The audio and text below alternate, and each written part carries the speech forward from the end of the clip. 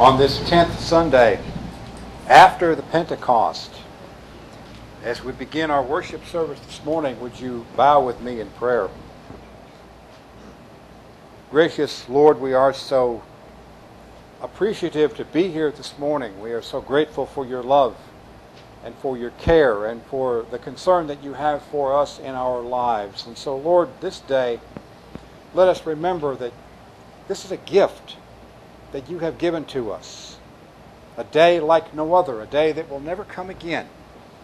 So let us make the most of it as we rejoice and be glad in what you have created. And as we worship here this morning, may we feel the power and the presence of your Holy Spirit as you speak to our hearts and touch our lives. For we ask this in Jesus' name.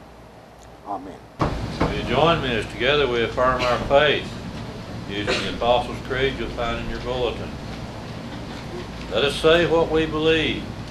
I believe, Believe in God, the Father Almighty, maker of heaven and earth, and in Jesus Christ, his only Son, our Lord, who was conceived by the Holy Spirit, born of the Virgin Mary, suffered under Pontius Pilate, was crucified, dead, and buried.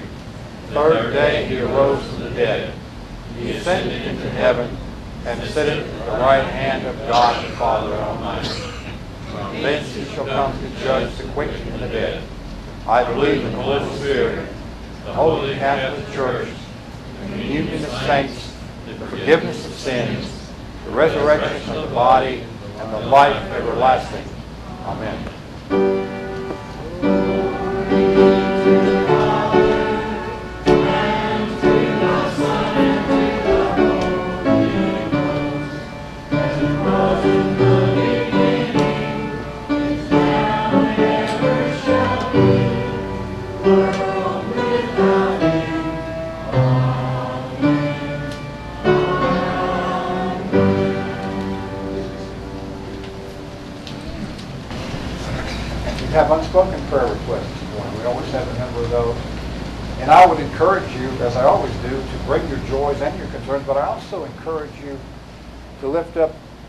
Of our church family who are not able to be with us, those who are at home or in nursing centers or hospitals, wherever they may be.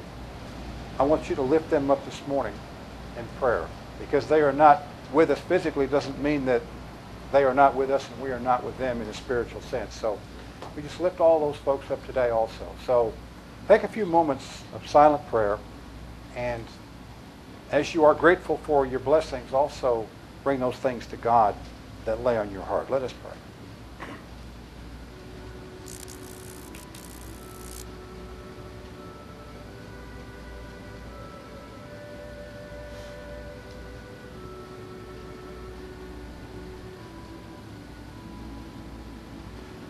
God, it is through your great love and grace that we have the things that we have and we are able to do the things that we do. We know sometimes that we grumble and complain about the aches and the pains and some of the things that we deal with in life, but Lord, help us to, as we lift those things to you, look past those and pray for those who are suffering worse than we. There are many, Lord, who are, are suffering in great, in physically, physically and spiritually and, and emotionally. And Lord, we just lift them up to you today. As I lift up each one who is here today, it's a joy, Lord, to be in your presence, whether it be 4,000 miles from here or in this place. It's a joy to be in your presence and see the beauty that you have created. And so, Lord, we just want to take this time to say thank you. Thank you for all the might and the majesty, and thank you for the simplicity and the flowers and the birds. Thank you for all the things that you have given us in this world to make this a more beautiful place.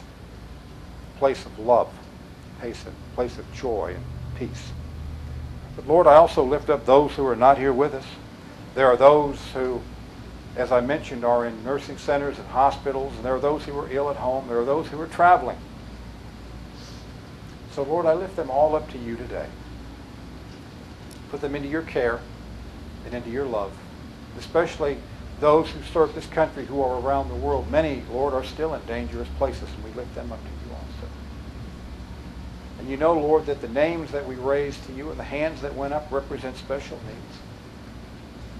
That may be a need that only you and that one person know about, but we know that they matter. It matters to you because it matters to us. So, Lord, as we lift those things to you today, help us to, in humble adoration, bow before you, the King of Kings and the Lord of Lords. But Lord, we have to be humble in your presence because we know that we are not always the servants you want us to be. There are times because we get angry or we get hurt or we get frustrated or bitter that we lash out and say things and do things that are unchristian. And there are times, Lord, that we feel that we don't have enough hours in the day to get the things done that need to be done. And sadly, spending time with you in prayer and in your word seems to suffer from that. So, Lord, let us this morning slow down in this time of worship and in these moments of prayer and let, let our souls catch up with the busyness of our bodies.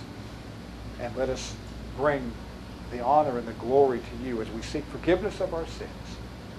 We seek more than forgiveness. We seek to be restored and nurtured and drawn closer to you that we may draw closer to those around us. For all these things we ask and pray on this day of communion, the day that we remember Christ our Lord and his body and his blood. And it is in the memory of those things that we now join together and pray the prayer that Jesus taught each of his disciples to pray as we pray now, Our Father, who art in heaven, hallowed be thy name. Thy kingdom come, thy will be done, on earth as it is in heaven. Give us this day our daily bread. And forgive us our trespasses, as we forgive those who trespass against us. And lead us not into temptation, but deliver us from evil. For thine is the kingdom, and the power, and the glory forever.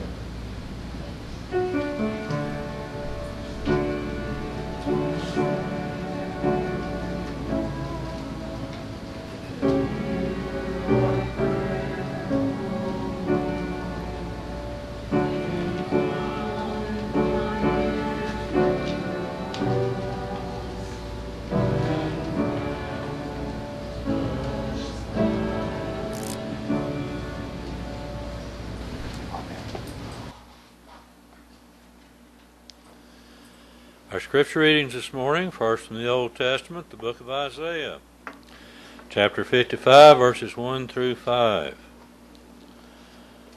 Ho, everyone who thirsts, come to the waters.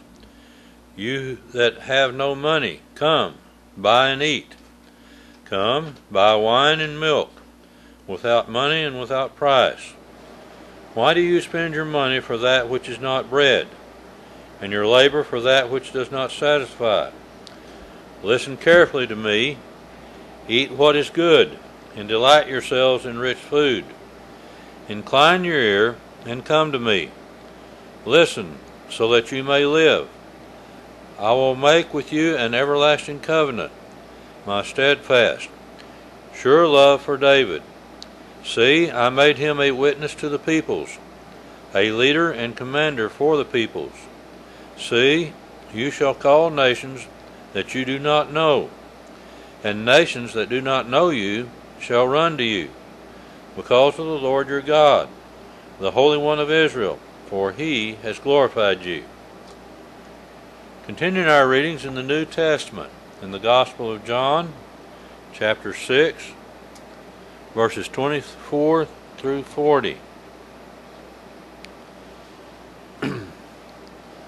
So when the crowd saw that neither Jesus nor his disciples were there, they themselves got into the boats and went to Capernaum looking for Jesus. When they found him on the other side of the sea, they said to him, Rabbi, when did you come here? Jesus answered them, Very truly, I tell you, you are looking for me not because you saw signs, but because you ate your fill of the loaves. Do not work for the food that perishes, but for the food that endures for eternal life, which the Son of Man will give you. For it is on him that God the Father has set his seal. Then they said to him, What must we do to perform the works of God? Jesus answered them, This is the work of God, that you believe in him whom he has sent. So they said to him, What sign are you going to give us then, so that we may see it and believe you? What work are you performing? Our ancestors ate the manna in the wilderness, as it is written, He gave them bread from heaven to eat. Then Jesus said to them, Very truly I tell you, it was not Moses who gave you the bread from heaven, but it is my Father who gives you the true bread from heaven. For the bread of God is that which comes down from heaven, and gives life to the world. They said to him, Sir, give us this bread always. Jesus said to them, I am the bread of life. Whoever comes to me will never be hungry, and whoever believes in me will never be thirsty. But I said to you that you have seen me, and yet do not believe. Everything that the Father gives me will come to me, and anyone who comes to me I will never drive away. For I, for I have come down from heaven, not to do my own will, but the will of him who sent me. And this is the will of him who has sent me, that I should lose nothing of all that he has given me, but rise, raise it up on the last day. This is indeed the will of my Father, that all who see the Son and believe in him may have eternal life, and I'll rise I will raise them up on the last day. The word of God for the children of God. Thanks be to God.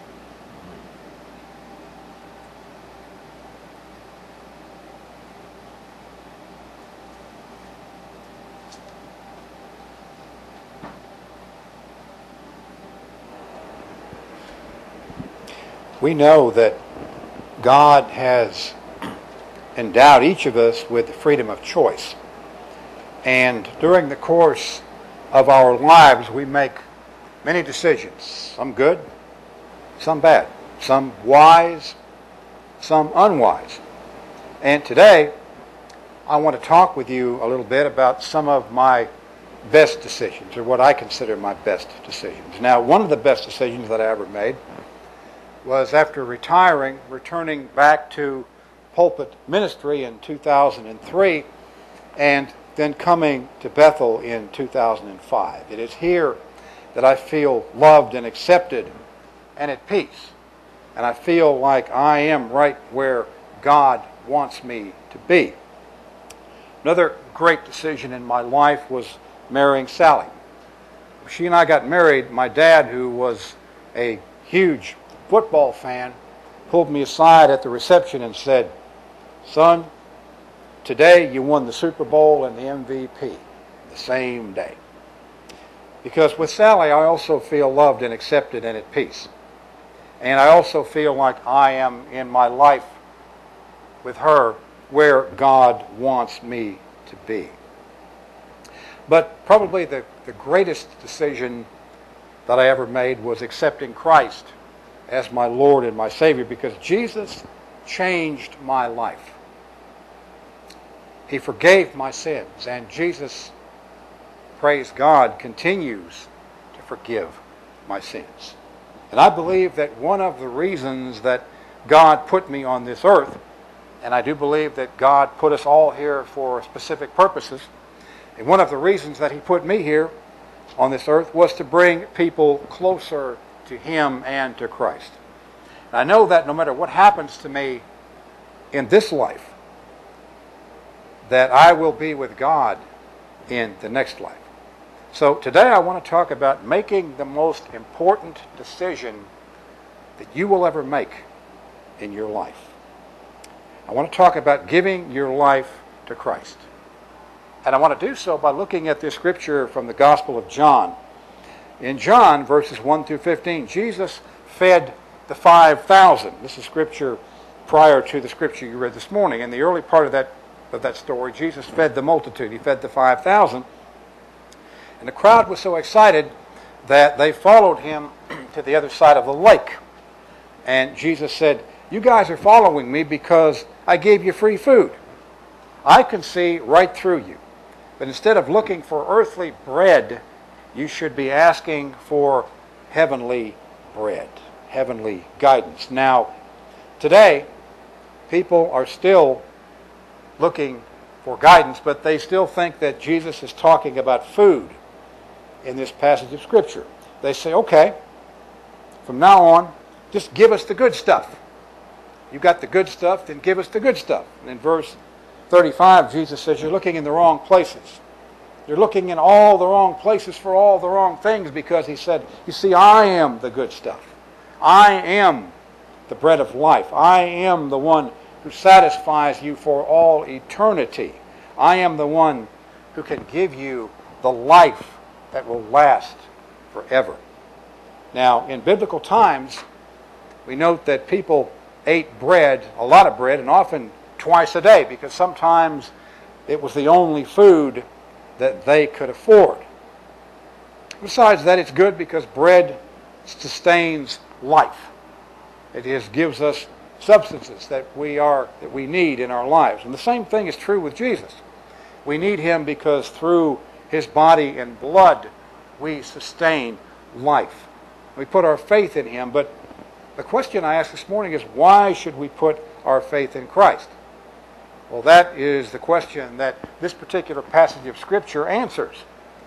Why do we put our faith in Christ? First of all, we put our faith in Christ because we need Him.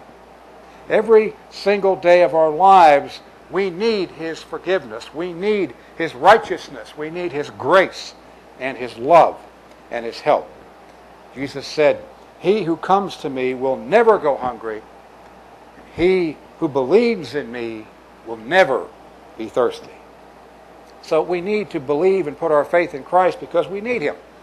Secondly, we put our faith in Christ because He will never, ever turn us away.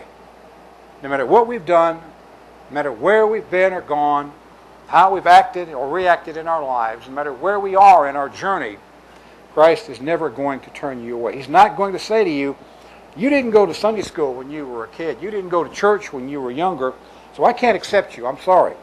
No, Jesus said, all that the Father gives me shall come to me, and the one who comes to me I will certainly not cast out. You see, we are God's gift to Jesus. And so when we come to Christ, He is going to say, I am so glad you're here. I'm glad you came back to me, and your sins are forgiven. Jesus said, Whoever comes to me, I will never drive away, no matter what your background is like, no matter what your past is like. I accept everyone that the Father sends to me. Jesus said, I will never stop loving you, and I will never turn you away.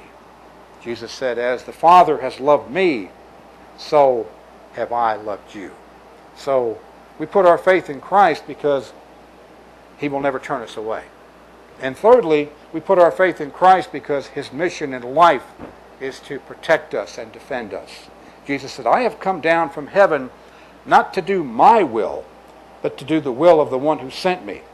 And this is the will of him who sent me, that I should, I should lose none of all he has given to me, but will raise them up in the last day. In other words, your salvation doesn't depend on your ability to hold on to Christ, but his ability to hold on to you. That's what salvation in its purest form is all about. You know, back in March when Sally had this quadruple bypass surgery, I know that she was apprehensive about it. I certainly know that I was. We had many discussions about this and about things and what, what if this happens and what if that happens. Well, we talked about this, but as they were preparing to wheel her into surgery, laying there on that gurney, we had a prayer, and she looked up at me and I said, You know, you've come to some kind of a decision, haven't you, about this? And she said, Let me tell you, I'm not worried because if I wake up and I see you, I know that you'll take care of me. If I wake up and I see God, then I know God will take care of me. No matter how it goes, I know that I'm in God's hands. and in God's care. Now, later on in the Gospel of John, the writer is explaining why he wrote the Gospel, and he says, Jesus did many other miraculous signs in the presence of his disciples, which are not recorded in this book. But these are written that you may believe that Jesus is the Christ, that Jesus is the Son of God, and that he, by believing, and that you, by believing, may have life in his name. In other words, I wrote this book so that you can start enjoying life eternally today.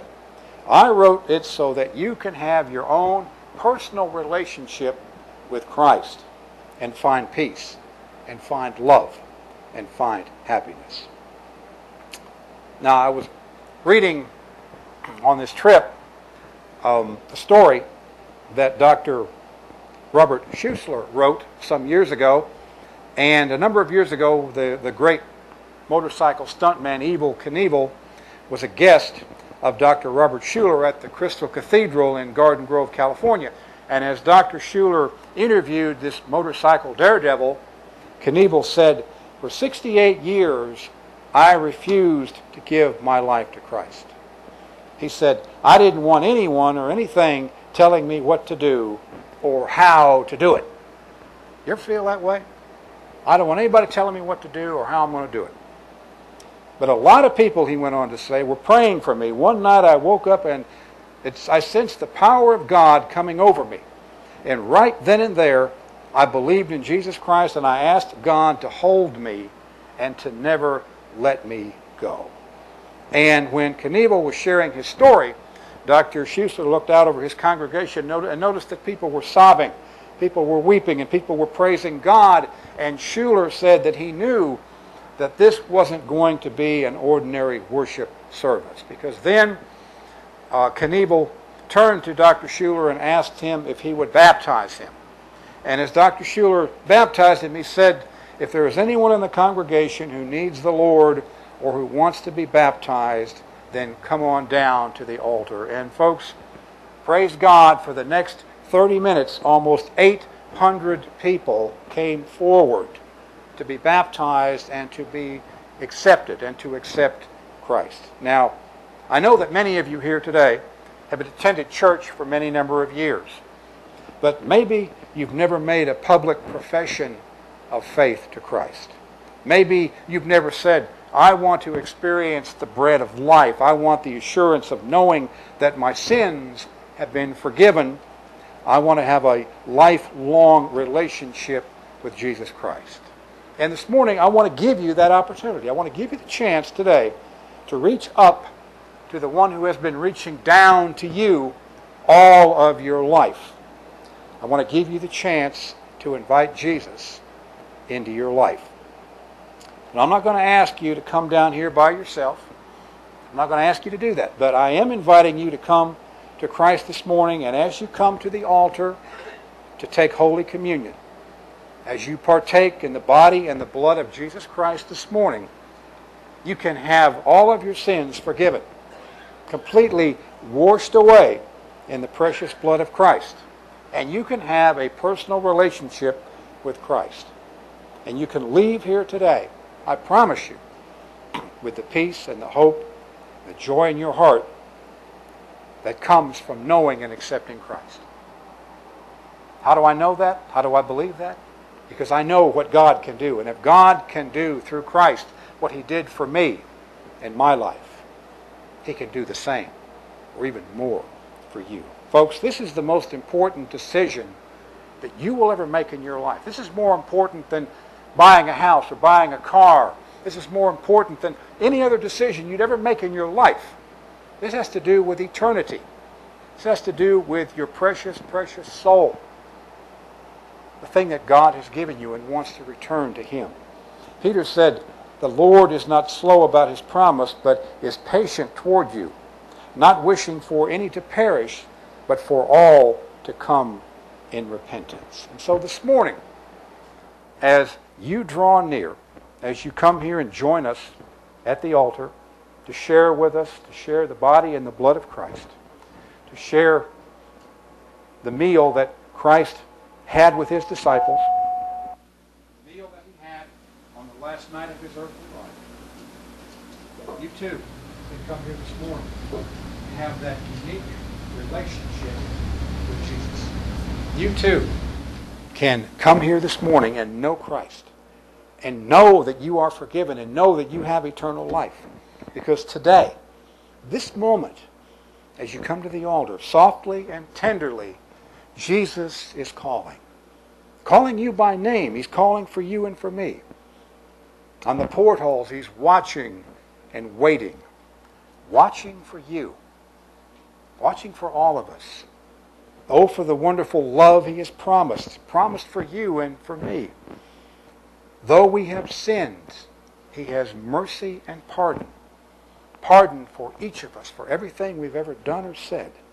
All he's saying is, come home. Come home. You who are weary, you who are browbeaten, you who are tired of fighting this life, come home. Earnestly and tenderly, Jesus is calling today for you. O sinner, come home to me.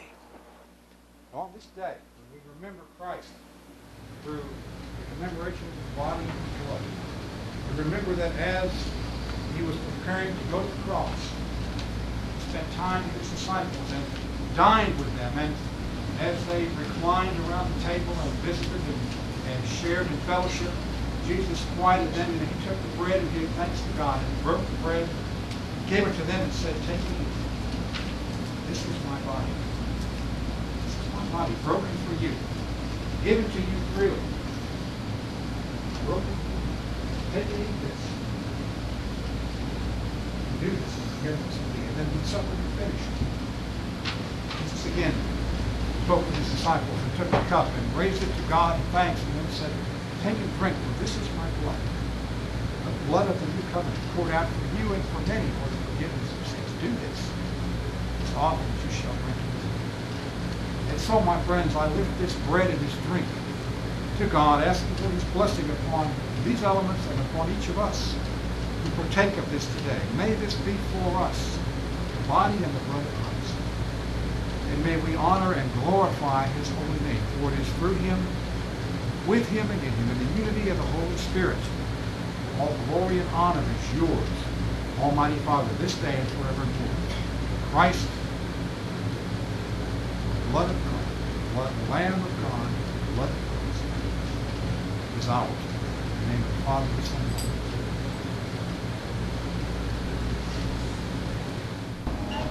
Softly and tenderly, earnestly and tenderly, Jesus is calling. Jesus will continue and continue and continue to call you if Jesus loves you. So I send you forth, those whom Jesus loves. No matter where you've been, what you've gone, what you've done, Jesus is only concerned about where you're going. I send you forth to those who he loves and cares for. In the name of the Father, the Son, and the Holy Spirit.